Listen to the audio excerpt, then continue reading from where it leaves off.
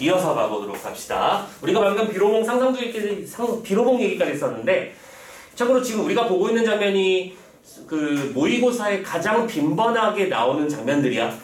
비로봉 얘기부터 시작해서 어, 앞에 개심대 부분 파트라든가 그리고 지금 보게 될 이 활용소 얘기 엄청나게 자주 나오는 구절이니까 잘 챙겨주시고 최근에 10년 이내에 나온 작품들도 다 여기서 나왔었죠. 음. 이어서 가보도록 합시다. 파란펜 어. 어디 갔니? 오케이.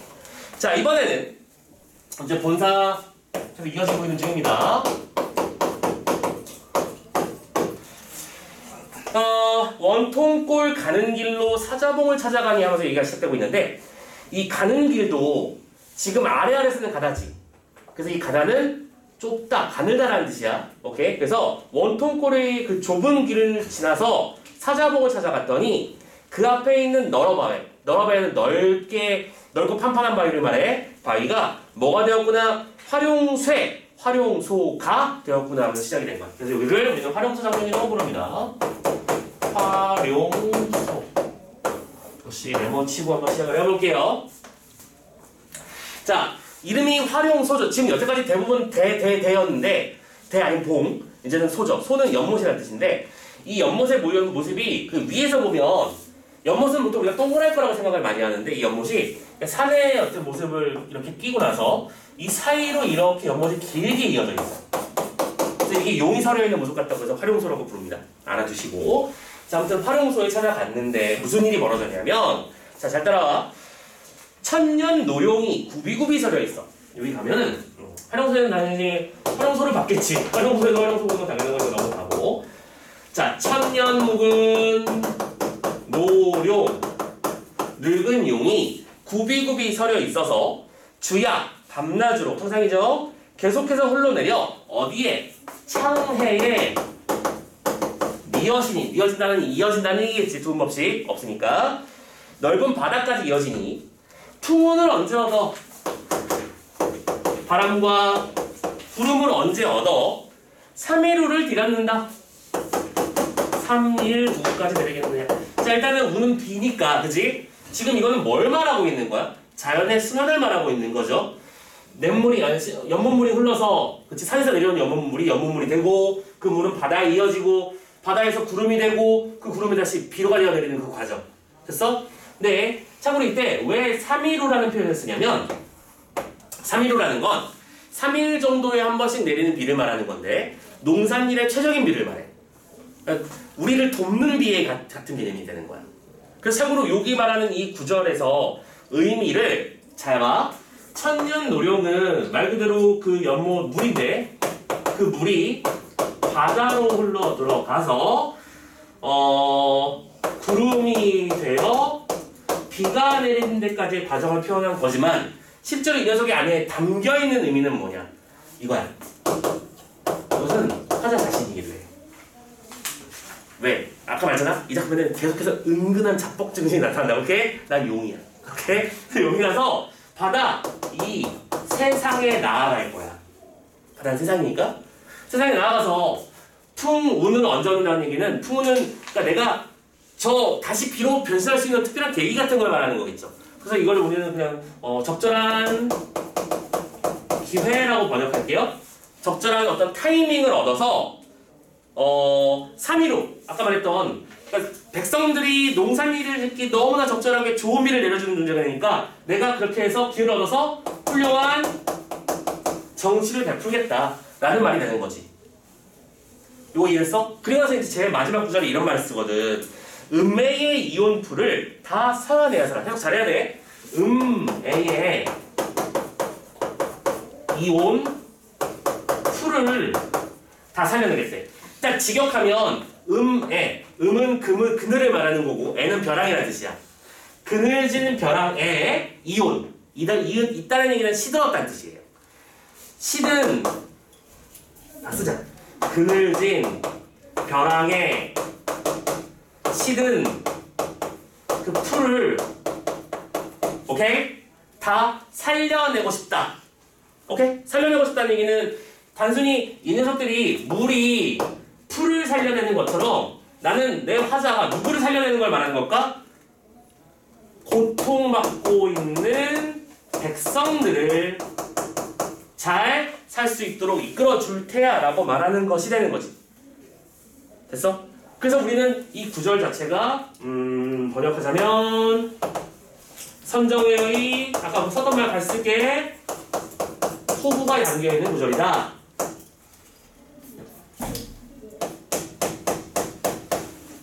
라고 설명을 하죠. 아, 이 컨디션이 좀 빨리 돌아왔으면 좋겠는데 말을 조금만 길게 하면 숨이 차네요. 미쳐버리겠다. 이 체력도 떨어졌는데 폐 활력까지 안 좋아지니 미쳐버리겠네요. 어. 자, 아무튼 여기 활용소 되게 비유적 표현, 선의적 의미를 많이 담고 있는 그런 구절이겠죠? 오케이. 그래서 지금 본사 금강산 파트에서는 전반적으로 계속해서 정치에 대한 고민을 하고 있는 그런 화자의 모습이 보이지 않느냐라는 것도 챙겨주시면 되겠고요. 됐죠? 한 군데 더 갑니다. 마하연, 묘길상, 안문제, 넘어디요. 참고로 이것도 따지자면 여정인 것 같아. 근데 이런 거 하나하나까지 다 여정을 찍기엔 너무 많으니까, 그렇지? 그냥 마하연 지나고 묘길상 지나서 안문제를 넘어가서, 오케이? 넘어가서 외나무 썩은 다리를 지나 불정대에 올라가니라고 돼 있지? 그 불정대가 오케이. 본사 1번 파트, A 파트의 마지막 여정입니다. 불정대까지 맞네요. 자, 가봅시다. 참고로 불정대에서는 뭘 본 건지를 미리 써놓을게요. 여기서는 제일 유명한 게 12폭포예요. 그 정말로 폭포가 12개만 있는 거라고 보기에는 좀 멀다. 그거보다 훨씬 많은 폭포들의 연쇄가 이어지는 그런 장소로 유명한 장소인데 화자는 이 12폭포에 가서 이제 뭘 느끼는지 봐봐. 올라가니까 천심절벽을 천길 깊이의 절벽을 말하는 거겠지? 아주 높은 절벽을 반공에 세워두고 허공에 세워둔 거야. 어, 그러면 이건 약간 그 느낌 아니야? 그 아바타. 영화 보면 하늘에 있는 떠 있는 섬에서 물 쫙 흘러내리는 그런 느낌. 그거 생각하면 돼. 딱 그 느낌이라고 생각하고 있는 거야. 올라가니 세워놓고 은하수 한 구비를 오케이 은하수 한 구비를 은하수를 잘한 곡선 한, 구- 한 구덩이를 촌촌 마디 마디 버혀 잘라내어서 오케이 한 마디 한 마디 잘라내어서 실같이 풀어가지고는 배같이 걸어놨대요. 근데 이것도 실은 표현법이 포함된 구절이야. 자 얘들아 지금 이거는 화자가 폭포를 본 거라고 했었지. 근데 폭포의 모습이 실오랑이 하나하나인 것처럼 보였다는 얘기는 시- 그 폭포를 가까이서 본 거야 멀리서 본 거야? 가까이 어 실오랑이처럼 보이는 거니까 하나하나 따지는 거잖아 지금 이건 그치? 그러니까 이거는 근경 가까이서 본 걸 말하는 거고 배같이 풀어져 있대요 배는 옷감 자체를 말하는 거야 거대한 옷감이 펄럭 펄럭 이르는 것처럼 보이는 건 멀리서 본 걸 말하는 거겠지? 그래서 이거는 원경이라고 불러 됐나? 여기에도 근경과 원경에서의 어떤 시위폭포의 장관의 묘사를 표현하고 있는 구절이다 오케이? 그래서 이것도 은하수 한국이라고 비유한 거고 맞지? 또 대꾸한 거고 이런 식의 표현법들도 같이 정리해 놓으시면 되는 거야 그쵸? 실이 가까이서 응, 실이 가까이서 본 거지. 그러니까 이거 이거 봐봐. 실을 여러 갈래를 뭉쳐서 찰랑찰랑하면 이제 사람 머리칼처럼 될 거 아니야. 근데 그 머리 그 머리칼에 비유할게 이거 선생님이 이해하기 쉽게 해서 엘라스틴 광고에 나오는 그 머리칼이야. 하나하나 들여다보려면 가까이 봐야 되잖아. 한 오락이 오락이 보이려면. 그리고 그게 찰랑찰랑하는 모습이 보이려면 이 배는 찰랑찰랑하는 전체의 모습을 말하는 거야. 멀리서 본 거지. 오케이? 됐죠? 그래서 가까이에서 멀리에서 보는 다양한 모습을 표현한 구절이라고 이해하는 게 맞는 것 같아. 됐냐? 어. 그래서 실같이 풀어 헤쳐가지고는 배같이 걸어놨대요. 됐지? 걸어놨으니 도경, 도경이라고 하는 건 그림책이야.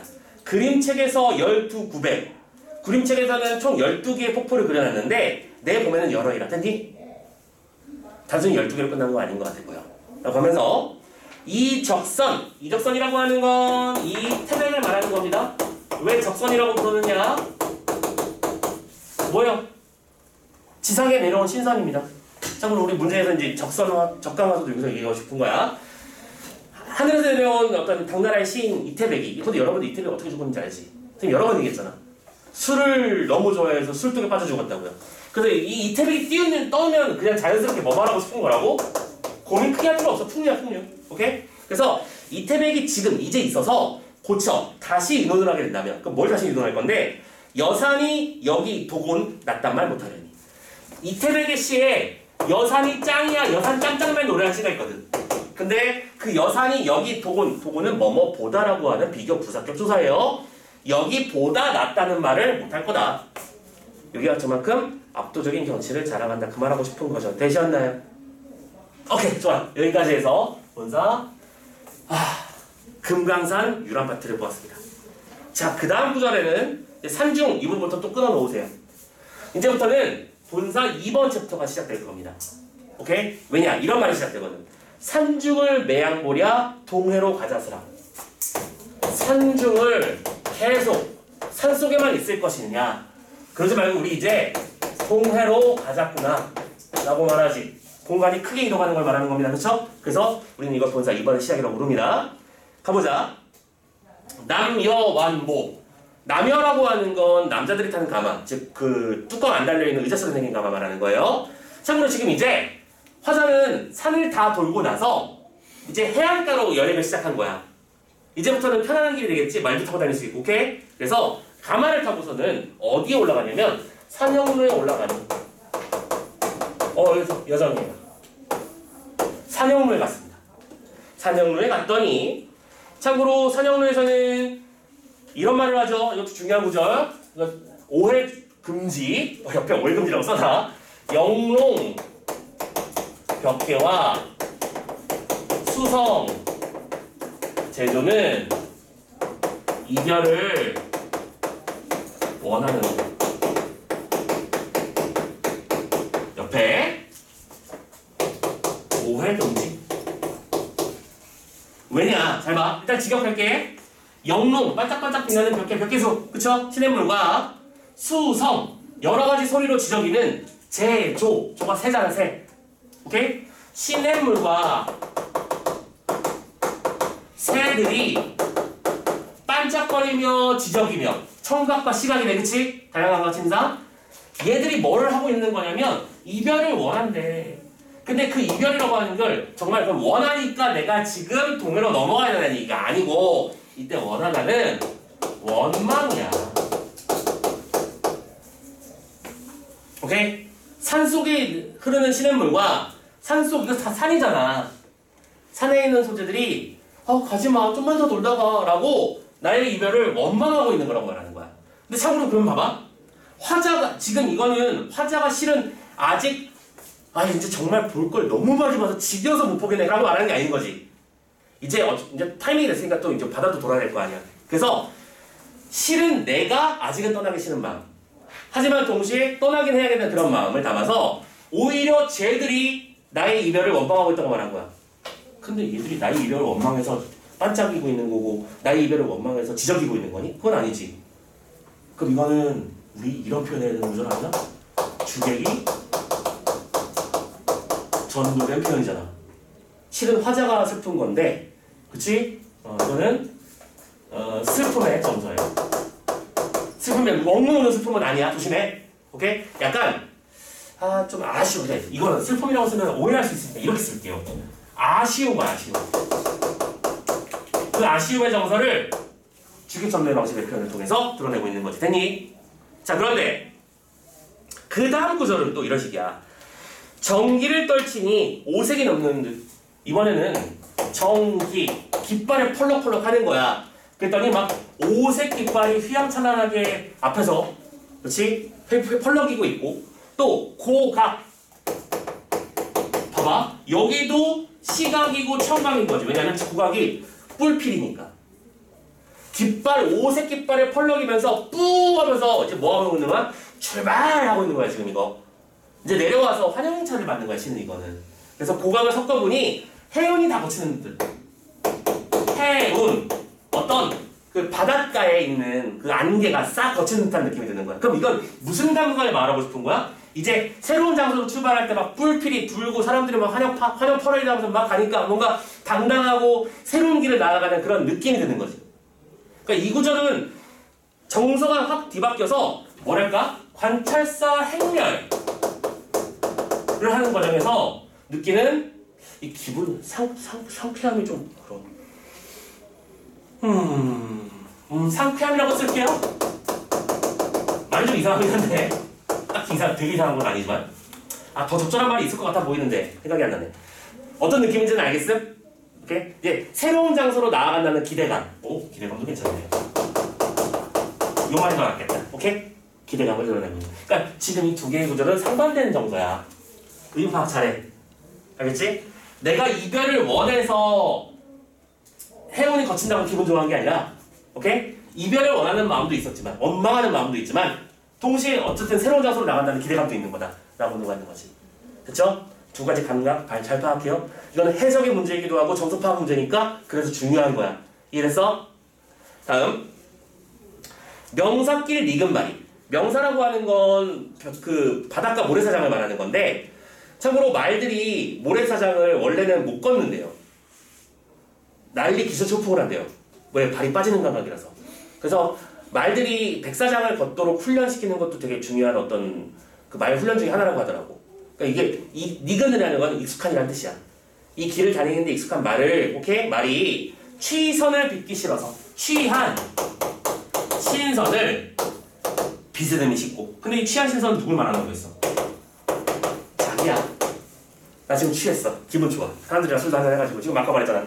단체에서 해면하는 거라고 지금. 오케이? 그래서 아 이제 출발 합시다. 그래서 기분 좋아가지고 아 하고 가고 있는 겁니다. 그래서 빚기 싫어서 바다를 곁에 두고 해당화로 들어가니. 그러니까 바닷가를 그치 바닷가 드라이브를 거야 말 타고.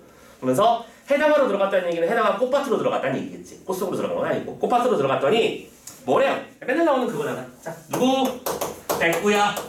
날 잊지 마라. 네 멋인 줄 어때 하냐. 그치? 백구 나오면 무슨 추나? 어. 술에 취해가지고 꽃밭 속을 걷고 있으니까 바닷가를 곁에 두고 기분이가 좋아. 그 말 하는 거야. 그래서 물화일체 그런 정서 드러내고 있습니다. 되셨네. 자, 이- 그래서 관동 지방 여행을 시작합니다. 가자. 참고로 그 다음 구절 총석정이 우리가 지금 지문에서 만난 장면이었죠. 총석가라고 하는 작품이랑 연결시켜 놨을 거야. 총석정 혹시 뭔지 알아? 이거 감독 배우고 그래서 잘 외우는 방법이 뭔 줄 알아? 사진이랑 같이 보는 거야. 이따가 쉬는 시간에 한번 검색해가지고 그 사진 그 장소마다 사진 찍어놓은 거 있거든. 그럼 자료 한번 찾아드릴게요. 가지고 있나 아직도? 어. 그걸 들었으면 좋았을 텐데. 생각해보니까 그러네. 자, 총석정은요. 이렇게 생긴 바위들이 연달아 있는 이거 맞나? 뭐 뭘 뭘 말하는지 알겠니? 그래 맞아요 주상절리. 어 주상절리를 말하는 거야. 근데 옛날 사람들의 눈에서는 이게 되게 신기했겠죠. 육각형으로 딱딱 떨어지는 저런 바위들이 바닷가에 뚝뚝뚝뚝 서 있으니까 저건 뭐지? 그래서 총석정이 신기했을 겁니다. 그래서 그걸 정도를 말하는 거야. 봐봐. 금남굴 돌아들어 총석정이 올라가니까 배곡루 남문기둥 다만 내기 서 있고요. 어 배곡루에 기둥 네 개가 서 있는 것 같아. 배고루라고 하는 건 누가 기거하는? 옥황상제가 기거하는 즉 신선세계의 사상이야 지금 여기서는. 도교얘기가 많이 나온다고 했었지 아까 선생님이. 통일기. 그래서 옥황 상제가 기거했던 어떤 건물의 흔적인 거 아마 같구나 라고 말하고 있는 거고. 신기하다는 얘기입니다. 그걸 보면서 공수의 성령인가 기부로 다듬은가 공수 뛰어난 어떤 작업자의 멋진 작품인 것인가? 아니면 귀부 귀신이 만든 도끼 엄청난 도구를 활용한 끝내주는 작품인 것인가? 그쵸? 그래서 그만큼 뭐하고 있는 거야? 세상의 모습이 끝내준다고 예찬하고 있는 거죠? 오케이? 장인이 뛰어난 건지 그 도구가 뛰어난 건지 알 수가 없을 정도로 엄청난 정밀도를 자랑하네 라고 말하며 구태야 용면은 무엇을 상토던고 그 중에서 왜 용면을 상토던고 왜 용면일까? 육각형 기둥이라서 그래요 그래서 육면이라고 하는 것은 동서남북 뭐 거꾸로 된 동서남북 그리고 상하를 말하는 거예요. 즉 우주의 모든 방위를 말하는 겁니다. 되셨나요? 음, 이렇게 해서 무엇을 본다 쓸까 하면서 저기에는 우주의 머리가 담겨 있는 것 아닐까? 라는 생각을 하는 그런 감정이 있는 구절이죠. 되셨나요? 자, 다음 구절 갑니다. 자, 고성을 난 저만 두고 고성은 지방이 지명이고요. 고성을 저 멀리 두고라는 뜻이야. 그럼 고성은 여자가 아니지, 그치? 고성들 옆에 두고 쭉 지나가서 이번엔 어디를 갔냐면 삼일포를 찾아갔어요. 3일포라고 하는 건 얘들아 포가 뭐예요? 포. 항구 맞아요. 그래서 마포, 그다음에 목포 전부 다 항구죠. 포구죠. 음. 자, 참고로 이- 왜 이러, 여기는 3일포라는 이름이 붙었냐면 그 신라 때 화랑들이 있었지. 어. 신라 때 유명한 화랑이 여기서 3일 동안 놀다 간 뒤에 행방불명이 됐어. 참고로 신라 화랑들이 했던 일이 뭐예요? 약간 극단적으로 말하는 거야? 잘 놀았어. 뭐, 그치? 청년 정신을 발휘한다 이러면서 전국을 유람하면서 여행 다니고 술 마시고 그랬단 말입니다. 근데 참고로 신라 때 사선이라고 부르거든? 네 명의 신선, 네 명의 절친이야. 절친이 여기도 여행 가서 흔적 남겨놓고 저기도 여행 가서 흔적 남겨놓고 이렇게 다 흔적들이 남아있는데 이 3일포 딱 가서는 그 다음 흔적이 없어. 아마 어디서 그럴 수 있는데 사람들은 이렇게 생각하죠. 죽었을 리가 없다. 저렇게 신선이 되는 길만 추구했던 저 사람들은 분명히 정말로 신선이 되었겠구나라고 생각을 해. 오케이? 그래서 그런 흔적이 남, 전설이 남아있는 장소야. 그래서 이런 말을 하는 겁니다. 단선은 완연하되 사선은 어디 가니? 단선이라는 표현이 나와있죠. 이건 사건의 단선을 말하는 게 아니고 붉은 글씨예요. 사선 왔다 감 이거예요. 우리가 그 유적지에서 하면 안 되는 행동 중에 하나. 낙서 남겨놓는 거. 옛날 사람들 그런 게 어딨어. 그지? 왔다 가. 참고로 우리 금강산도 실제로 그 지금 사진 찾아보면 알겠지만 위대하신 수령동지의 길을 따라 뭐 이러면서 다 새겨놨어. 그 바위에다가. 그쵸? 아무튼 그들의 뜻이라 뭐 그들의 지역이라 뭐 어떻게 우리가 컨- 컨트롤할 수는 없지만 바위에다 왜 그딴 짓을 해? 네, 왜 단선이냐면 돌에 새겨가지고 거기다 붉은색으로 물감까지 다 칠해놨어. 오케이? 놀다가 오케이? 그래서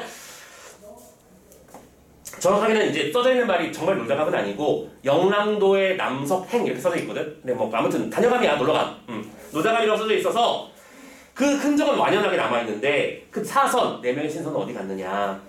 여기서 사흘 머문 후에 또 어디 가서 머물고 있을까 궁금해하는 거야. 그러면 도대체 이들의 흔적을 왜 궁금해하는 걸까? 나도 그러고 싶으니까요. 아까 말했지? 이제 슬슬 끄트머리가 다가오니까 계속 놀고 싶은 마음이 간절해지는 겁니다. 그러면서 선유담이나 영랑호 전부 다 얘들이 놀다 간 장소들이야.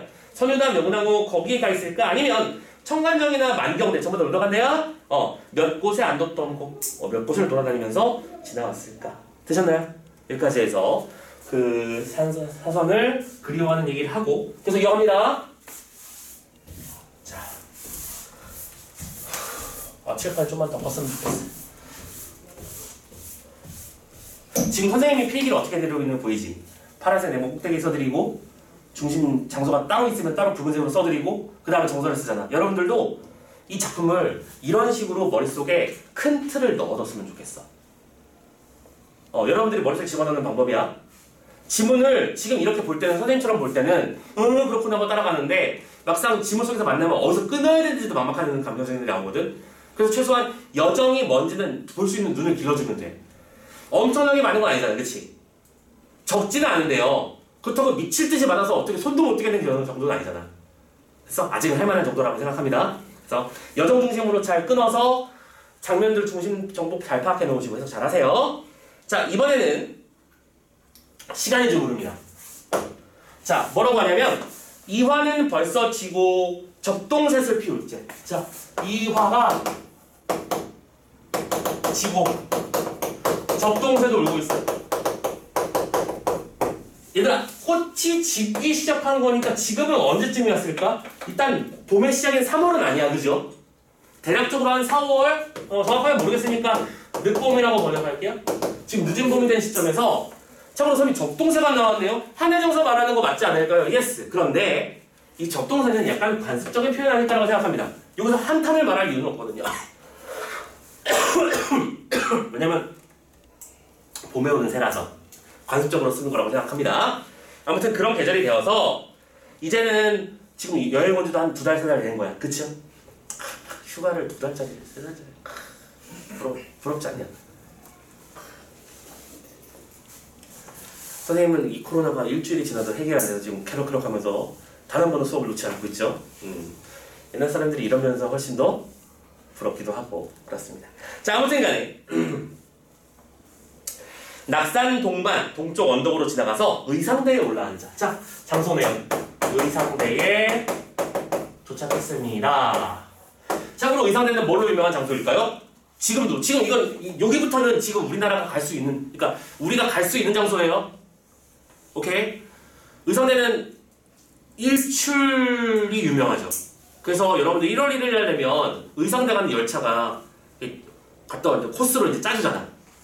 아, 12월 31일 밤에 출발해서 의상대에서 일출 보고 아침 식사하고 돌아오는 그런 코스로 여행 코스가 또 있습니다. 의상대는 어 그냥 답부터 이게 제일 중요해서 일출 얘기가 나와. 자, 가봅시다.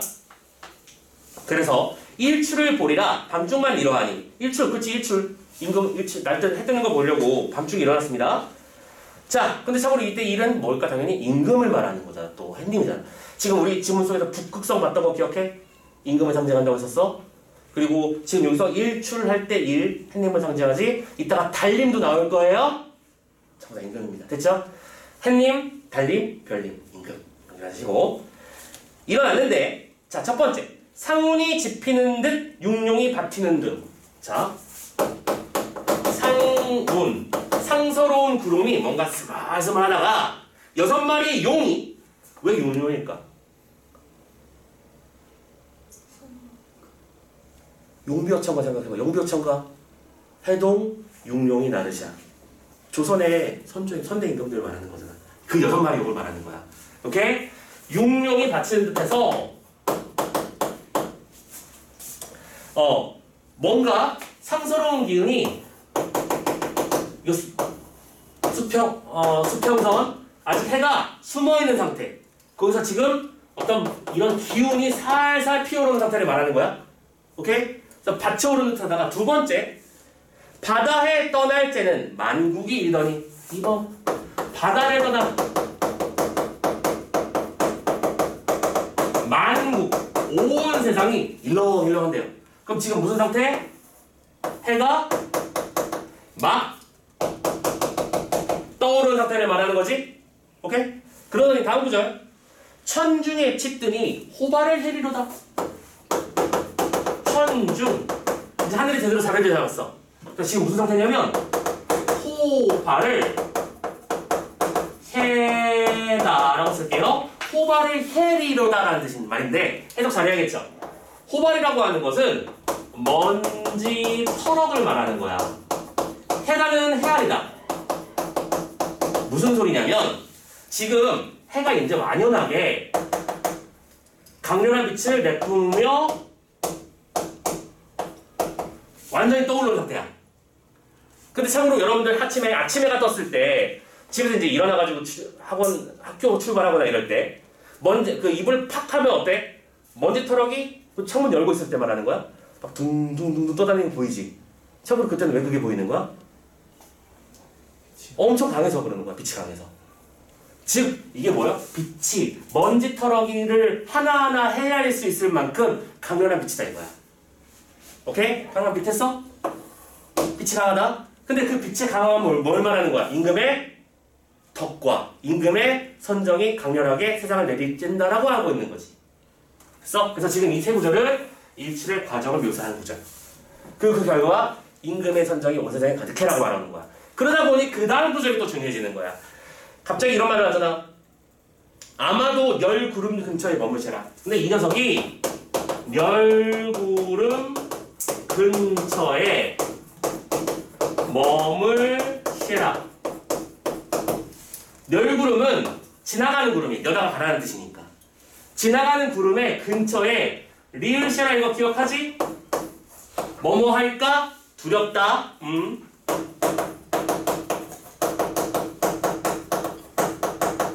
즉, 저 밝은 햇빛이 구름에 가릴까봐 걱정스럽다는 얘기야. 그럼 이때 해는 누구고? 임금이니까. 늘 구름 근처는 그 햇빛, 햇빛에 가 있는 누구? 간신배를 말하는 거고. 됐어? 임금은 아니 뭐냐. 화자는 임금님의 화려한 어, 아 화려한 일이다. 임금님의 선정이 나쁜 간신배들에 의해 가려질까봐 걱정을 하고 있는 거지. 근데 참고로 이 얘기가 또 왜 튀어나오는 거냐면 지금 지금 다 머릿속에 연상이 되는 거야 시선은 어디 가고 해타만 데만 하니? 시선 시선은 누구 아까 얘기했던 이태백. 시선은 어디 가고 그 해타만 남았다고 말하는데 해타라고 하는 건 직역하면 가래야. 근데 이 가래는 뭘 말하냐면 그들이 그 훌륭한 시의 신상이 남겨놓은 멋진 글을 말하는 거야. 흔적. 그래서 지금 이 구절은 그 다음 구절까지 다 연결해서 정리할게 천지간 장한기별 자세히도 할 수 있고 음. 천지간의 장한 기별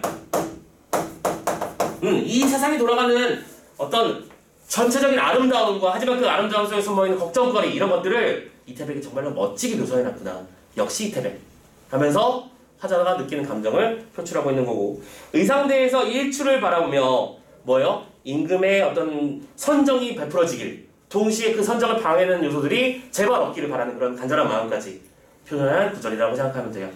되셨나요? 오케이. 자, 의상대에서의 일출 구경. 그럼 여기서도 당연히 해 임금이고 열구름 가신배고 이런 상징적 의미도 시험에 잘 나오는 포인트 중에 하나가 되겠구나 되겠다고 생각할 수 있겠죠? 네. 어 그래서 어 굿다 잡을까? 그럼 이때 이런 것도 잡을 수 있어. 이렇게 잡을 수도 있어. 선생님 아까 용룡이라고 하는 건 선조 임금을 말한다고 했었지만 실은 해가 떠오를수록 받친 존재니까 뭐 이건 충신이라고 봐도 돼. 플러스에서 두 가지 같이 해석 잡아놓으세요. 됐죠? 자 의상대 일출을 봤고요. 다음 구절 계속 가봅시다. 음. 사양 현산의 척죽을 보니 봐라. 사양은 석양, 현산은 산이 진짜 산의 이름이에요. 양양 강원도 양양 간 거예요.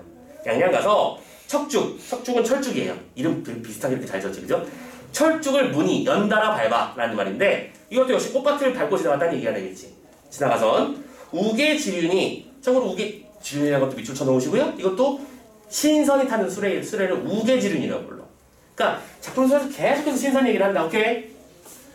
우기지른이 어디로 왔대요? 경포로 내려가니. 그래서 지금 이제부터 경포에 대한 얘기를 할 거야. 경포에는 경포가 유명하죠. 우리한테 경포대 해수욕장이 좀 유명하지만, 그지? 어. 자, 근데 이 장소를 이해하려면 역시 배경 그림이 조금 필요해서 설명을 할게요.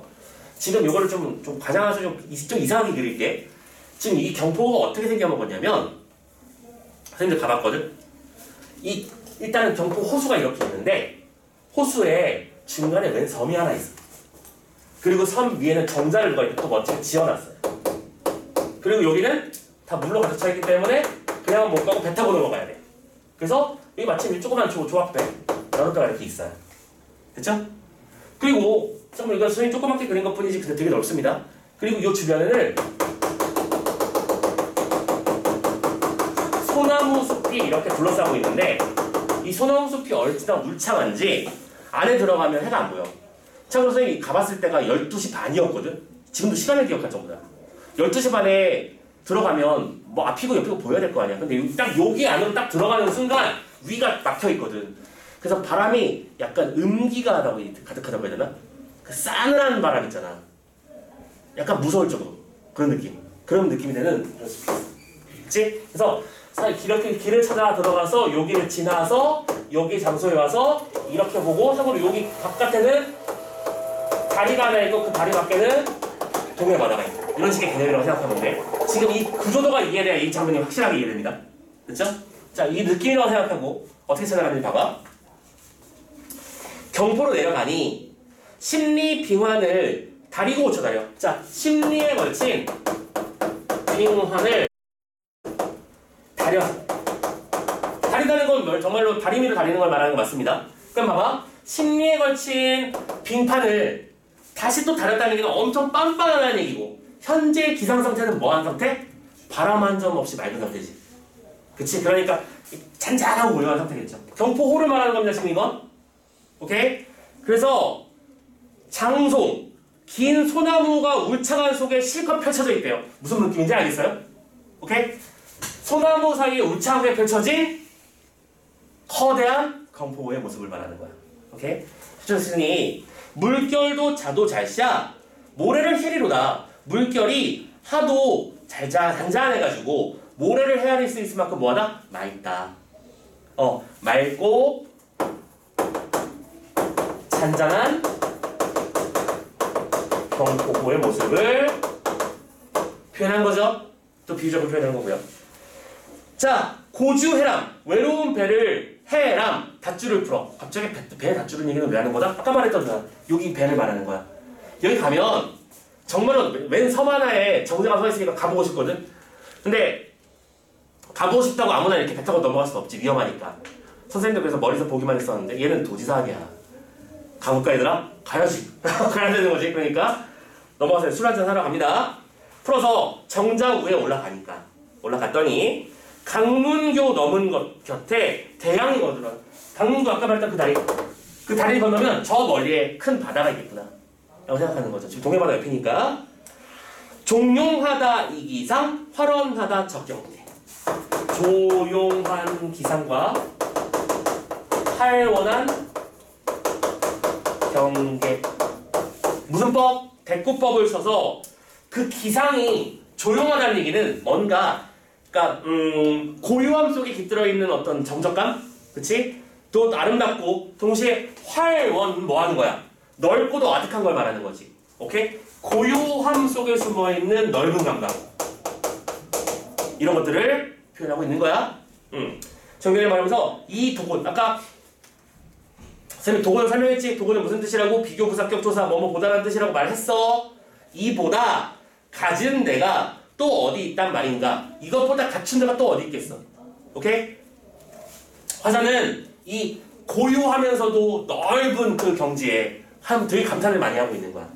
딱 양반이 추구하는 양반이 막 나발나발 시끄럽게 떠드는 것보다는 정중동이라고 하잖아. 그냥 장로당에 앉아서 눈빛으로 제압해버리고 이런 거 되게 좋아하니까 그런 감각을 말하고 있는 건데 그 밑에 홍장고사 얘기가 튀어나와. 홍장고사를 뭐한다? 헌사타 하리로다. 근데 참고로 이것도 그럼 당연히 고사에 대한 이해가 필요한데 아주 단순하게 얘기할게요. 정말 단순하게. 홍장고사는 뭔 소리냐면 경포를 시끄럽게 만들었던 스캔들이에요. 정치인이 기상에 빠져가지고 이 동네가 한탕 시끄러웠던 적이 있었거든. 그거 말하는 거라고 생각해. 여기까지만 얘기할게. 네, 그 경장의 고사가 있는데 참고로 화자는 이렇게 생각해. 홍장고사를 헌사타, 그건 야단스럽다고 생각하는 거야. 그건 뭐예요? 아니 여기는 홍장고사처럼 저 너저분하고 시끄럽고 그런 분위기가 아닌데 고요하고 넓은 경계가 아름다운 그런 장소인데라고 하면서 생각이 달라지는 거야. 참고로 근데 이거는 누구 덕분이냐면 나 덕분이거든. 지금 누, 작품선 진짜 많이 나오니까 중간중간 진짜 잘 숨어 있어. 봐봐. 그래서 이런 말을 하는 거야. 강릉 대도 풍속이 좋으시고 자 지금 여기가 있는 지역이 강릉 지역인데 강릉의 큰 도시에 풍속이 참 좋아요. 오케이? 풍속이 지금 좋다가 아니라 좋다인 거 보이죠? 오케이? 여기서 구시잖아. 아까 좋다라고 헷갈리면 안 돼. 풍속이 좋아서 절효 정문이 곳곳에 펼쳐져 있대. 와우. 절. 절개죠. 효. 효죠. 옛날에는 지조와 절개, 효 그런 것들을 포상해서 나라에서 정문을 세워줬잖아. 일종의 훈장 같은 거라고 생각하면 돼. 이 동네에 효자 살고 있으면 이런 거야. 근데 이 절효 정문이 어떤 상태라고? 고을고을마다 다 펼쳐져 있어요. 그래서 비옥가봉이 이제도 있다 할다 뭐요? 비옥가봉 그 집집마다 다 봉장을 줘야 될 만큼 훌륭한 사람들이 많이 사는 동네가 되었어. 됐어? 봐봐. 잘 봐. 홍장고사가 있다고 말하기에는 이, 너무 그렇게 말하기에는 너무 이 동네는 고요하고 아름답고 풍속이 너무 좋은 그런 동네야. 참고로 이건 누- 아까 말했지? 누구 덕분이라고? 화자자님 덕분이야. 그쵸? 그래서 이거를 우리는 은근한 아, 선정의 은근한 과시다라고 좀 생각을 해요. 나니까 내가 있으니까 이 강릉 지방이 이렇게 홍장고사 같은 이제 과거의 흔적들을 다 버리고 지금은 세상에서 가장 아름다운 동네가 되었어. 오케이? 관직 청렴도 1위. 그다음에 뭐 그 백성 만족도 1위. 지조와 절개 효창 수요장 소유자 1위 지역 뭐 이렇게 되는 거죠. 음. 자 이렇게 경포의 아름다움을 말한 다음 다음 구절 가봅시다. 되게 중요한 구절입니다. 다음 구절 갑니다. 진주관 죽서루에 응. 자 이번엔 죽서루에 갔어요.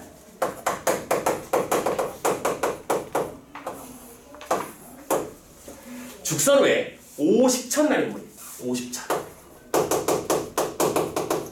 참고로 왜 5천인지 선생님이 이름은 잘 모르겠지만 이유는 모르겠지만 이게 그 죽서로가 누, 누각이잖아 누각. 그러니까 밑에 물이 흐르는 가- 위- 물이 흐른 데다가 정자를 지으면 누각이라고 부르는데 누각에 밑에 흐르는 그 강물의 이름이 50천이에요. 오케이? 50천 유명한 장소인데 이 50천을 흐르는 물이 태백산 그림자래. 잠깐봐. 태백산의 그림자를 동해로 담아간대요. 누가? 50천이요. 오케이? 그러니까 태백산의 아름다운 풍경을 그림자로 담아서 그걸 동해바다에 보여주고 있다는 얘기거든 이게. 근데 갑자기 이게 왜냐면 차라리 한강 목명에 다닌 거죠. 오케이? 근데 이거를 차라리 동해가 아니라 한강에 목명에 닿게 하고 싶구나 라고 말하는 거야. 한강은 근데 아까 어디라고?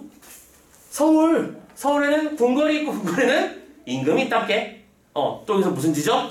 영구 지적 한번 말한 거야? 음. 그리고 참고로 목명이라고 하는 건 남산을 말하는 거예요. 이번에는. 지난번에 아까 그 삼각산이 북한산 얘기했었죠. 이번에는 목명은 남산을 말하는 겁니다. 자, 아무튼 죽서로에서는 임금님 보고 싶어요 한 다음에 그 다음 구절 강조 좀 해놔. 중요한 구절에서 선생님도 파란 펜으로 쓸 거야. 이 여기 이 지점에서 화자는 이런 생각을 해. 왕정은 유한하고 풍경이 못 슬민이 주요 구절. 왜냐면 왕정 뜻이냐면 임금의 임금이 맡기신 업무를 말하는 거예요. 그럼 뭘 해야 되는 거죠? 정치를 말하는 거지. 근데 그의 할 그것을 해야 되는 일은 유한하되 기한이 정해져 있어. 내가 마냥 이렇게 놀면 돼 안 돼? 안 돼. 쉽게 말해서 여기 앞에는 나는 지금 위정자여야 해. 그치? 그런데 동시에 풍경이라고 하는 건 어디? 자연을 즐기는 거지. 슬미다는 실증이 난다는 뜻인데 못 슬민다는 거니까 그러니까 뭐예요? 실증이 안 난다는 얘기잖아. 그럼 자연을 즐- 즐기는 마음이 너무 좋은 거지. 즉 놀고 싶은 마음이잖아. 이 둘 사이에서 뭐가 나타나는 거야? 갈등이 나타난 직접적 구절이야. 화자의 정서가 직접적으로 드러나는 구절이니까 당연히 중요한 거겠죠. 되셨나요? 어. 왕정, 임금의 임금은 명령은 유한하고 풍경의 모습이니 거민이 많아지는데 그래서 뭐라고 해? 유해도 하도와 시작 객수도 절대 없다. 유해가 하다 많고 객수도 절대 없다. 유해라는 건 뭘 말하는 거야? 뭔가 그 그러니까 깊은 생각? 생각이 점점 많아지고 객수 나그네 서름 돌아가야만 하는 그치? 정처 쏟은 그런 마음도 들고. 이런 생각이 지금 그럼 뭐야? 다른 말로 고민이 많아 이거이자 근데 참고로 지금 이건 해결된 게 아닌 거지? 아 어떻게 하면 좋지? 놀고도 싶고 일도 해야겠고. 오케이? 자 그래서 이런 고민을 하고 있는 상태에서 지금 당장은 뭘 말하냐면 선사를 띄어내어 도로 향하실까? 봐봐. 선사 신선이 타는 배를 타가지고는 두우 북두칠성을 말하는 거잖아 북두칠성계로 그러니까 지금 신선계로 가버릴까? 혹은 선인을 찾으려 이미 신선이 된 사람이었는데 신선이 된 모범사례가 있었잖아 아까 누구 사선 사선을 찾아서 단열에 머무실까? 나도 그들처럼 수련해가지고 아예 신선이 돼버릴까? 즉 신선적 삶을 살고 싶다는 마음을 품고 있는 거지 근데 두차 말하지만 신선적 삶이라고 하는 건 뭘 상징하는 거다라고 풍류를 상징하는 거라고. 어, 즐기는 삶을 상징하는 거라고. 네, 저 말씀드렸죠. 되셨나요? 자 이렇게 고민이 많은 상태야. 그럼 참고로 이게 진짜 잘 지어진 작품인 게 이제 마지막 장소로 넘어옵니다. 망향정. 여정의 마지막이에요 이제. 망향정입니다. 참고로 망향정에서 뭐가 유명하냐면 월출이 유명해 오케이? 달구경이 유명하다고. 의상대에서는 일출을 바라보며 이 세상에 없자는 마음을 품었지. 근데 지금 한참 고민이 많은 타이밍이야? 그러다 보니까 여기서 이제 달구경을 하는데 그 달구경이 뜻대로가 안 되고 뭔가 답답한 감정이 들기 시작해. 그 장면이 이제 이 화자의 정서랑 연결되고 있는 거거든? 알아두시고. 가봅니다. 천근, 천의 근, 그러니까 하늘의 뿌리니까 하늘의 끝입니다. 하늘의 끝을 끝내 보지 못하고 망향정이 옳은 말이 아까 옳은 말이는 옳은이라는 뜻으로 번역해낸다고 했었지 같은 겁니다. 그냥 올라가니까 바다 밖은 하늘이니 하늘 밖은 무엇인고 자 여기서는 우리가 이걸 선문답이라고 부르거든 바다 밖은 하늘이라면 하늘 밖에는 무엇이 있을까? 약간 현타 온 거야 지금. 그럼 어떤 느낌인지 알겠어? 어, 어, 바다 밖엔 하늘이 있다면 하늘 밖엔 또 무엇이 있을까 하면서 화자가 지금 이런저런 고민에 깊이 빠져 있음을 보여주는 구절. 되니? 그러고 있는데 그래서 참고로 우리 지금 두 가지를 따져야 돼. 여기서 화자가 이미 갈등을 드러냈다. 그리고 그 갈등과 연결되는 답을 할 수 없는 어떤 뭘까 질문이 하나 던져졌다라고 생각하고 따라가면 되는 거야. 그런 상태에서 다시 이제 원래 이렇게 살짝 들어옵니다. 가뜩이나 노환골에 뉘라셔 놀라건대. 자, 가뜩이나 놀란 고래가 한 마리 있어.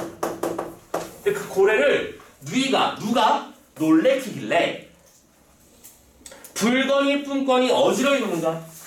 아, 불고 뭘 불어? 고래니까 머리 위에 그수 얇잖아 그 머리 풀어내는 거지. 뿜고 하면서 난리를 피우고 있대요. 질문. 화자는 지금 동해바다에서 고래 구경하는 거야? 그럴 이유가 없잖아. 이 고래는 뭘 말하는 걸까? 뭘 말하는 걸까, 고래는? 파도야, 파도. 그리고 생각해봐. 파도가 주체만하게 일고 있다는 뜻이겠지, 지금 이건? 아마도 큰 바람이 불고 있을 거야. 날씨가 좋아, 안 좋아? 그러니까 아까 경포 갔을 때까지만 해도 날씨 되게 좋았잖아. 일출 보는 우리 없는 그런 날 좋은 쾌- 쾌청한 날씨가 이어지고 있다가 화자의 심리가 가라앉고 복잡하고 거- 고민거리가 많아지자 날씨도 같이 엉망진창이 되고 있는 중이야. 됐어? 근데 이 고래는 아까 파도를 비유한 표현이라고 설명하는 거 잊지 마시고 하면서 은산을 꺾어내어 육합이 내리는 듯하고 은으로 만들어진 산을 꺾어내서 육합은 아까 육합 여섯 개 방향을 뭐라고? 이 세상이라는 뜻이었잖아. 그치? 동서남북 상하. 온 세상에 온통 은빛이 막 물드는 거 같고, 그럼 이것도 뭐예요? 파도겠죠? 파도 얘기겠죠? 5월 장천, 지금 5월이에요, 5월. 제가 대놓고 5월이라고 알려줬습니다. 5월 장천에 백설은 무슨 일인가? 아니, 지금 5월의 계절인데, 왜 흰눈이 내리고 있어? 근데 이거 전부 다 뭐라고요? 파도. 파도를 어떻게 비유적으로 표현하고 있다. 화자는 차분한 마음으로 달을 보고 싶지만 그 뜻대로 안 되고 있어서 지금 안타까운 거겠지. 오케이? 자 그래서 지금 여기서 마야에서 뭘 보는 거야? 파도를 본 거야. 원추를 보려고 했지만 파도밖에 없었지. 그치? 자, 그 다음 구절 계속 갑니다. 근데 적은 덧 어느 사이에 밤이 들어 밤이 되어서 풍랑이 정학원을 잠깐만. 네, 어 여기까지 끊자. 여기까지 끊자. 지금 방금 읽었던 구절, 방금 읽은 구절 취소할게. 끊고 지우고 다시 쓸게요. 왜냐 지금부터는 그러니까 마지막 여정이라고 썼지. 작품의 마무리 단계 즉 결사거든요 이제. 오케이? 자 결사. 잠깐만. 한 시간 지난 지 오래됐네. 음. 조사무사인 거 아는데 질문? 맞아 결사까지 끝내고 실래 쉬었다 쉬었다 이어갈래 원하는 대로 해드릴게요 한 번 끝내고 좀 제가 하는 게 맞겠지? 선생님 동의합니다 좀 힘들지만 결말을 보자 오케이 자 어느샌가 현재 밤이 망연정입니다. 밤이 되었습니다. 밤이 되니까 풍랑이 정하거늘 풍랑이 가라앉았어. 참고로 풍랑이 가라앉으니까 이것은 화제의 마음도 살살 가라앉고 있다는 뜻일 거야 아마도. 복잡하고 어, 번뇌하던 그 심리가. 계속 부상지척의 명언을 기다리니 참고로 부상이라고 하는 것은 부가 아니 상이 뽕, 뽕나무 상자인 거 원래 알고 있어? 그래서 상전벽해라는 말 들어봤지 옛날에는 바다 밖이 뽕나무 밭이었다고 사람들은 생각했거든 그래서 부상지척이라고 하는 건 동쪽 바다를 말하는 거야. 오케이? 동쪽 바다 저 멀리에 멀리에서부터 떠오는 명월 밝은 달을 기다리니. 그치? 그래서 이제 명월 화자가 기다리는 대상 월 기다리는 거니까 뭐예요? 음, 노란색으로 일출. 아, 일출이라면 미쳤나봐. 어? 월출. 기다리고 있는 거죠. 기다리고 있는데 서광천장이 배는 듯 웃는 거야. 자, 서광이라는 말 들어본 적 있어? 서광이 비춘다. 서광이 뭐지? 왜 가끔 그림 보면 있잖아. 구름이 이렇게 막 가득한데 저 밑에서 빗줄기가 하나 쫙 펼쳐지는 거 이런 거 있잖아. 이걸 서광이라고 불러. 그러니까 아직까지는 구름이 많은 상태에서 빛이 보일라 말라 하고 있는 거겠지. 무슨 말인지 이해되지? 그래서 아직까지 제대로 된 달빛은 아니고 서광이 되는 듯 숨구나. 오케이? 보이는 듯 했다가 정말 숨어버렸어. 그럼 뭐야? 아직 내 마음이 다 가라앉지 못한 거야. 내 마음이 정하지 못하는 거야, 지금. 그래서 어떻게 해? 주령, 발이죠, 발. 그 지나다니는 발을 다시 고쳐 걷고 어깨를 다시 쓰면서 옥으로 만든 계단을 다시 쓸었대. 그럼 뭐 하는 거야? 내 주변을 정리하면서 청소하면서 신성하고 건전한 마음으로 달림을 기다려보는 거지. 그치? 마음을 가라앉힌다는 뜻이 되는 거야? 가라앉혀서 개명성, 개명, 달기 울 때 뜨는 별, 무슨 별일까요? 금성이에요. 맞아요. 오, 잘 알고 있는 새별이죠. 금성이 돋도록 고초 앉아. 그럼 새벽까지 앉아서 바라봤다는 얘기지. 오케이? 금성이 뜰 때까지 경건이 기다렸더니 그때서야말로 비로소 백년화 한 가지를 뉘라서 보내서는 거. 어. 백년에 한 번 핀다는 꽃의 가지를 그 누가 보냈던가. 그럼 이 백년화 가지가 뭐일 거야? 달이겠지. 달빛이 비추네요. 라는 얘기죠. 자, 그래서 달이니까 참고로 백년화는 연꽃인데 연꽃을 비유해서 달을 보여준 거고 달은 또 뭐다? 그치? 우리는 이 작품에서 햇님과 달님과 별님을 다 임금에 비유하는 거 확인했어. 그쵸? 챙겨주시고 일이 좋은 세계에 남대대 다 별거죠. 어, 근데 이걸 내가 보고 싶은 이건 하나의 정서지. 일이 좋은 세상을 남대대 되고자 이 멋진 아름다운 풍경을 이 세상 모든 사람한테 보여주고 싶어. 저기 임금님의 빛이 우리에게 지금 비추고 있지 않느냐. 그 말하고 있는 거죠. 됐나요? 자, 그래서 우리는 이 장면을 또 하나의 정서를 표현한 구절, 애민 정신이다, 혹은 뭐 선정의 포부다 번역할 수 있고, 유화주를 가득 부어 달달여 물은 말이. 자, 유화주라고 하는 거는 신선이 마시는 술의 이름이에요. 자꾸 그러니까 사전에 계속해서 신선, 신선, 신선 거리는 겁니다. 오케이? 술을 가득 부어서 그 떠오른 달한테 이제 물어보는 거야. 술 한잔해! 그러면서 영웅은 어디 가며 사선은 기내려니 야, 영웅은 이 세상에 다 영웅은 어디 갔을고 사선은 다 어디 갔니 세상을 뒤흔들었던 영웅들은 다 어디 갔으며 신성이 됐다는 사람들은 어디서 뭘 하고 있으면서 난 잘 모르겠네. 아무나 만나보아서 옛 기별 그 옛 소식들을 묻고 싶은데 선산 동해에 갈 길도 멀고 멀어. 선산이 있다는 그러니까 신선들이 산다는 동해에는 너무나 갈 길이 멀어. 이들의 소식을 묻고 싶지만 너무나 멀리 있는 소식이라 듣기 힘들구나. 라고 말하는 거지. 됐어요? 음. 자 그러면서 결물 결말. 지금 술 한 잔 했다는 게 드디어 아 드디어 새벽까지 기다리다가 마음을 정리한 다음에 드디어 너무나 기다리고 있었던 달빛 달 뜨는 거 보고 달이랑 아 한잔해. 술 마셔가지고 취했잖아. 새벽이었잖아. 그래서 무슨 일이 벌어지는 거야. 다음 구절 송근을 베어누워 풋잠을 얼핏더니. 여정은 아니지만 중요한 장면이라서 풋잠은 이렇게 표시를 해드릴게요. 잠들었어요 지금. 꿈속입니다. 풋잠을 들었더니 자 그래서 꿈에 꿈에래잖아. 대놓고 꿈에. 자 그래서 지금부터는 요거는 여러분들의 뭐지? 독해 능력을 묻는 문제로 버전 버전이 좀 나타나는 경우가 많거든. 왜냐면 지금 여기서부터는 신선이 등장해서 화자랑 대화를 나누는 장면이야. 그래서 여러분들은 이게 신선인지 화자인지 구분을 잘해줘야 돼 지금 이 멘트를 치는 사람이 누군가. 그러니까 갑자기 대화를 변신하는 거야 지금 꿈속에서. 오케이? 그래서 선생님 편인 편의상 신선을 동그라미라고 표현하고 화자를 네모로 표현하겠습니다. 괜찮을까요? 그럼 선생님이 동그라미 네모 하면은 그게 누군지 판단해보자.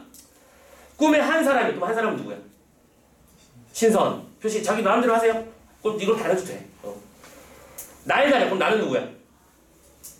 어, 화자 자신 정철. 음. 날 하게 이는 말이 좀 따옴표 그려볼까? 그대를 내 모르냐. 그러니까 이런 게 오히려냐. 봐봐. 그럼 여기서 말하는 지금 화자는 누구냐? 이 말을 하는 사람은 누구냐? 신선이잖아. 그럼 신선이 하는 말하는 그대는 누구야? 하자고 누구 되지? 내가 모르겠냐 할 때 나는 누구야? 신선이잖아. 위에 나오는 나랑 밑에 나오는 나가 다르잖아. 날 다려에서의 나는 하자고 내 모르려 할 때 내는 나는 신선이잖니. 이런 거 구분 잘하라고. 이게 내신 버전이었으면 여기서 시험에 나온다고 막 선생님 소리도 지르을 텐데 여러분들은 이건 당연히 해야 되는 겁니다. 지금. 오케이? 그대를 내가 모르랴 상계 진짜 신선이라 진선 진선도 그럼 누굴 말하는 거야? 진선은 누구야? 화자 무슨 말인지 이해돼? 너는 진짜 원래 신선이었어 신선이 와서 야 너 신선이었단다 그렇게 알려주고 시작하는 거야 그러면 하는 말 황정경 일자를 어찌 그런 읽어두고 이게 무슨 소리냐면 황정경이라고 하는 건 도교의 도교의 어, 뭐라고 해야 되지? 성경 같은 건데 얘들아 신선들이 뭐 한다고 아까? 최선을 다해서 뭐 한다? 놀아요. 노는데 유일한 딱 하나의 할 일이 있어. 딱 하나의 할 일이 있어. 황정경이라는 경서를 한 글자 읽는 거야. 그리고 나머지 시간 다 노는 거야. 됐어? 근데 하필이면 그거 한자를 잘못 읽은 거야. 됐어? 한자를 잘못 읽어서 인간에 내려와서 우리를 따르는구나. 그럼 인간은 인간 세상을 말하는 거고 우리는 누구야? 신선이니까 신선 표시를 해야겠지? 나를 포함하는 개념이니까. 됐죠? 까지! 끊어주세요. 누구의 말이었습니다? 신선의 말이었습니다. 적은 것 가지 마오. 그럼 이거 누가 말한 거냐면 화자가 말한 거예요. 오! 신선아 씨, 가지 말고 이 술 한번 마셔볼래요? 네, 술 마시던 게 있는데 같이 마십시다. 오케이? 술 참 좋아요? 하면서 가- 스케일 보소. 신선이랑 술 마시잖아. 북두성 기울여서 창에수를 부어낸대잖아. 북두성은 뭐예요? 북두칠성인데 북두칠성이 이렇게 생겨 먹었잖아. 창에 바닷물을 떠가지고 한 잔 한 잔 마시너와 나와 마시는 거야. 스케일. 그래서 저 먹고 날 먹어는 저는 누구야? 신선이죠. 날 먹이는 건 화자죠. 오케이. 하면서 신선이 나한테 술을 잠깐만 잠깐만 저 먹고 날 먹이는 거면 선생님이 아까 잘못 끊었지 않았니? 따르는다가 아니고 먹어보고까지 했구나 미쳤나봐 어. 여기까지 끊어야지 미안 미안 미안. 어. 가지 말고 한 잔해! 라고 말하면서 자기도 한 잔 마시고 술 한 잔 따라준 거잖아. 그쵸? 그래서 이 신선적인 스케일을 보여주고. 그래서 서너 잔을 한 잔 주고 받았습니다. 그랬더니요. 화풍이 부드러운 바람이 습습 뭔가 시원하게 불어와서는 양익 양쪽 겨드랑이를 치켜드는 거예요. 아, 그 얘- 얘들아 더울 때 땀 곁땀 날 때 선풍기 빵 에어컨 빵 바람 틀어놓고 이러고 있으면 아 좋잖아. 딱 그 느낌이라 생각하면 돼요. 너무 좋은 그 느낌. 그러니까 구만리 장공을 적이면 날이로다. 구만리의 장공을 마치 날아갈 수 있을 것만 같아. 참고로 이거는 그 화풍이 습습하다 이 구절 자체가 그 몰라도 돼. 이게 뭘 가지고 문제를 낼 거면 보기 줄 테니까. 그 소동파의 적벽부라는 시 구절을 인용한 거야, 그지 이거. 우화의 등선이라는 단어가 있거든. 우화. 이 양쪽 겨드랑이에서 바람이 불어서 바람이 분다는 건 날개도 돋았다는 뜻이거든. 그래서 하늘로 올라가 신선이 된다라는 구절이 있어. 그러니까 그 구절을 비유한 거야 지금. 그치? 그래서 신선이 되는 것 같은 기분을 느끼면서 화자는 말합니다. 정, 정철은 말합니다. 이 술을 가져다가 지금 이 술 한 잔 마시니까 모든 고뇌가 다 해소된 것 같았거든. 그치? 그래서 술을 가져다가 먼저 오, 사해 온 세상의 골고루 나눠 주어서 억만 창생을 자 술을 가져다가 억만 창생을 다 취해 만든 후 세상에 있는 많은 사람들이 전부 다 취하게 만든 다음에 그제야 그 다음에 고쳐 다시 만나서 또 한잔하고 하자보다. 오케이? 그 뒤에 다시 만나 또 한잔하네 그럼 봐. 화자는 지금 해법을 찾은 거야. 일단은 누구부터 행복하게 만들어주자 세상 사람들을 먼저 취하게 만든 후에 그 다음에 또 한 잔은 누구야? 자신을 위해서 마시는 거지.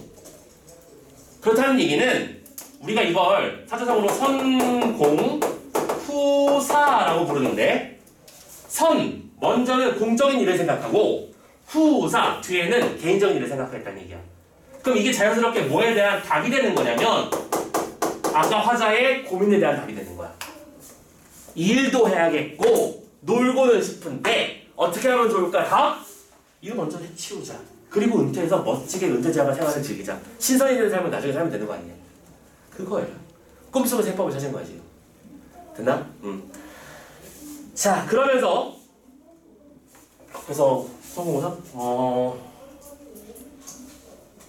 이 말로 괜찮아. 선, 우, 후라. 걱정되는 거 먼저 하고 후라. 즐기는 거 나중에 하자. 다 같은 말이라고 보셔도 돼. 자, 그리고 나서 말이 지자 끝나자 학을 타고 구경에 올라와서 누가? 아까 신선이, 꿈속의 신선이. 공중의 옥소, 옥피리 소리가 어제런가 그러거나 뾰로롱 뾰로롱 뾰로롱 이제 어제지 그는지 헷갈헷갈 하고 있는 상태에서 나도 잠을 깨요. 그렇지? 잠을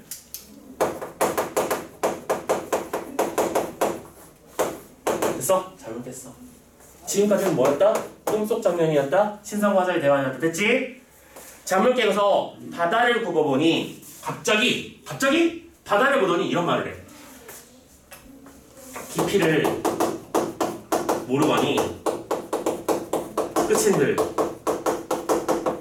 어이 아이 이거 뭔 소리야? 갑자기 자다 말고 참고로 근데 이게 아까 얘기했던 선문에 대한 선답이야 바다 밖은 하늘인데 하늘 밖은 무엇일까라고 하는 뭔가 원초적 질문에 대해서 자기 스스로 가- 답도 알게 된 거야 깊이를 모르는데 끝을 어떻게 알 수 있겠는가? 그 끝은 존재하지 않는다 라는 거지 오케이? 그러니까 뭔가 이런, 이런 있잖아?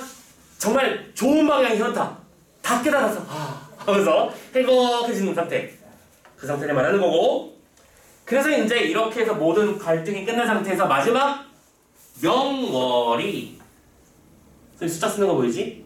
천산 만납에 안이 비친 되었다 이걸 우리가 뭐라고 부르냐? 정격가사의 특징이라고 부르죠 가사에는 정격가사랑 변격가사가 있잖아 정격가사는 마지막 구절이 3, 5, 4, 3의 시조처럼 딱 끝나는 거야. 딱 시조 구절이 이런 식이거든. 이 몸이 죽고 죽고 1번 고쳐주고 이런 식으로요.